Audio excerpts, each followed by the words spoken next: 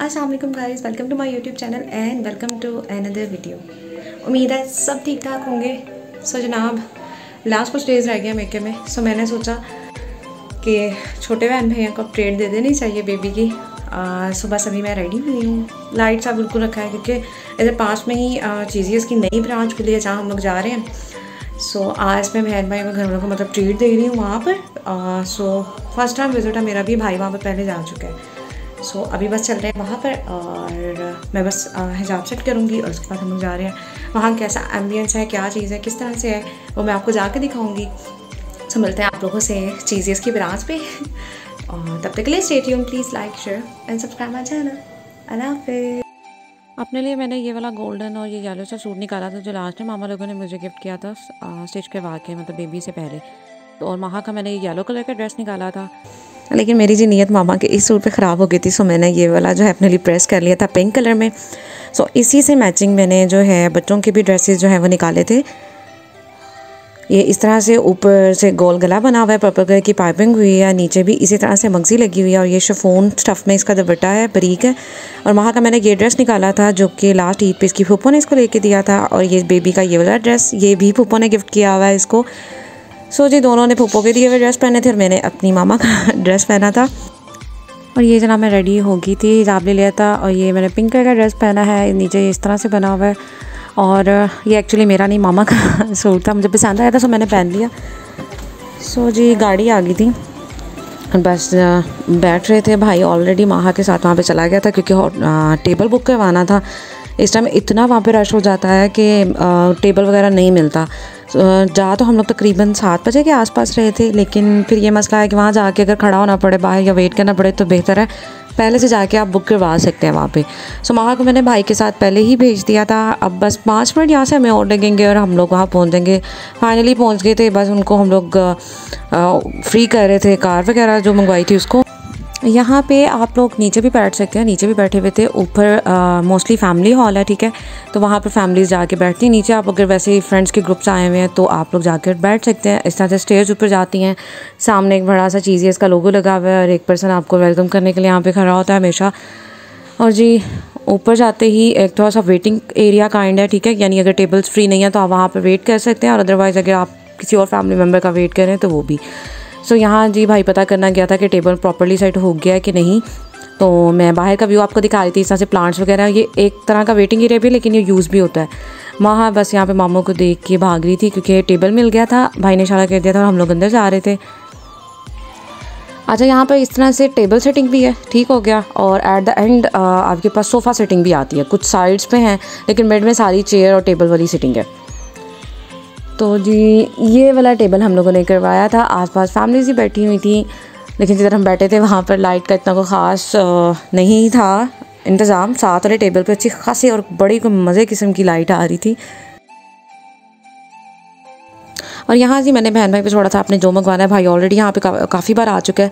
सो उसके अकॉर्डिंग यहाँ पे जो इनका क्राउन क्रस्ट है वो बहुत बेस्ट है। सो हम लोगों ने लार्ज जो है वो क्राउन क्रस्ट ऑर्डर किया था और एक डील हम लोगों ने बजिंगा की की थी जिसमें दो जिंगर बर्गर थे फ्राइज़ वगैरह थी और साथ में ड्रिंक्स तो इनकी वो रीफ़िल वाली की कंडीशन होती है वो आपको जितनी चाहिए वो आपको मिल जाती हैं। ठीक हो गया जी। दो जो थी आई थिंक दो या एक दो ड्रिंक थी डील के साथ। और बाकी जो है हमने सेपरेट ऑर्डर की थी और उसके बाद रीफ़िल करवा लिया था जो ज़रूरत पड़ी थी। आई थिंक एक बार हम लोगों ने रीफ़िल करवाया था। सो इधर जी माहा पिज़्ज़ा की पिक्चर्स देख के बोलती हूँ आई वॉन्ट पिज़्ज़ा और कुछ लाइट्स इतनी प्यारी लगी हुई थी कि माहा उन सब चीज़ों को देख के इशारा कर रही थी डैट्स बर्गर डैट पिज़्ज़ा और ये जी डील उन्होंने पहले दे दी थी सो फ्राइज़ हम लोगों ने माहा को करवा दी थी। और बहुत ही मज़े की, बहुत सॉफ्ट फ्राइज़ थी और माहा ने माशाल्लाह खाई हैं।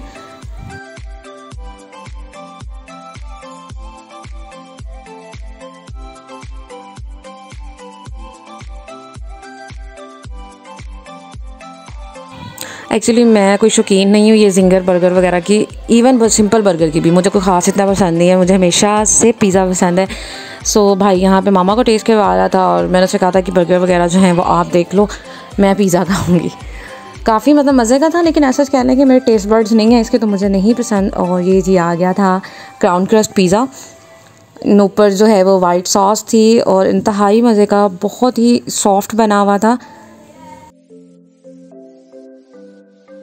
जब कहीं खाने जाएँ तो भाई इस किस्म की चशके वाली वीडियो तो लेनी पड़ती है ना कि भाई खा रहे हैं, उस टाइम आपने वीडियो बनानी है। सो मैंने जी कैचअप की बॉटल के आगे मोबाइल को सेट किया था, क्योंकि इस टाइम मैं ट्राईपोड लेकर नहीं आई हुई थी। सो जी टेबल के साथ इस इसको सेट कर दिया था और पिज़्ज़ा इंजॉय कर रही थी और इंतहाई मज़े का था टेस्ट वाइज भी और लुक वाइज भी।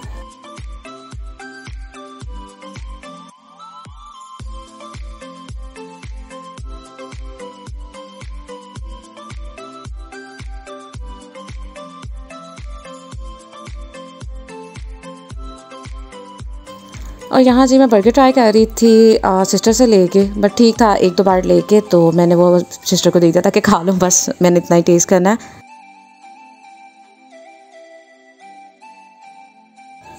अगर ड्रिंक की बात करते हैं तो ड्रिंक भी ठीक थी बस ये आया कि थी आपको जितनी चाहिए आप जितनी बार मर्ज़ी इसको रिफ़िल करवा सकते हो।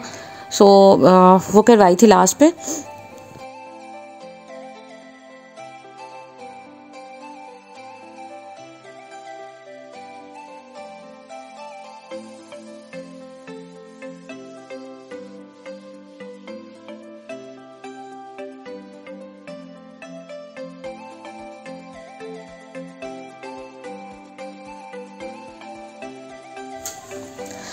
और यहाँ जी बस खा पी लिया था हम लोगों ने। मतलब एंड मज़ा आया था।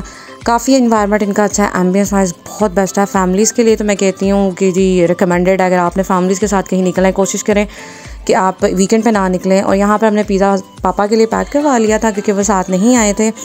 सो बस हम हम लोगों ने निकलने का करने लगे थे कि चलें अब वापस चलते हैं।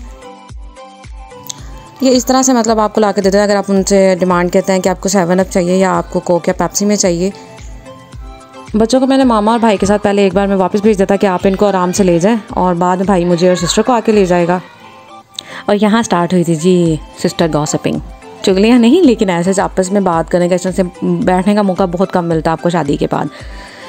सो so, जनाब मैं और सिस्टर साथ साथ हम लोग ड्रिंक ले रहे थे और इन्वायरमेंट इन्जॉय कर रहे थे। भाई एक्चुअली यहाँ पर आ गया था, उसने हम लोगों को कॉल कर दी थी कि बाहर आ जाओ। सुबह सब वापसी के लिए निकल रहे थे, नीचे जा रहे थे। और इस टाइम तक क्राउड इतना ज़्यादा हो गया हुआ था, बहुत ज़्यादा रश हो गया हुआ था यहाँ पे।